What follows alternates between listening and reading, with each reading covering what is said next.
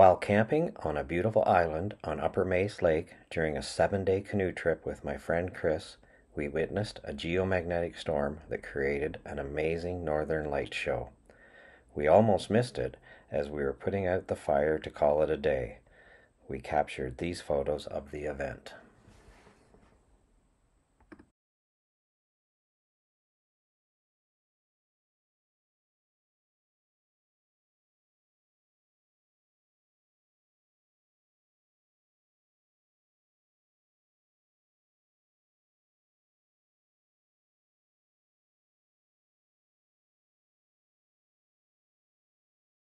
A truly amazing show. Thank you, Northern Ontario.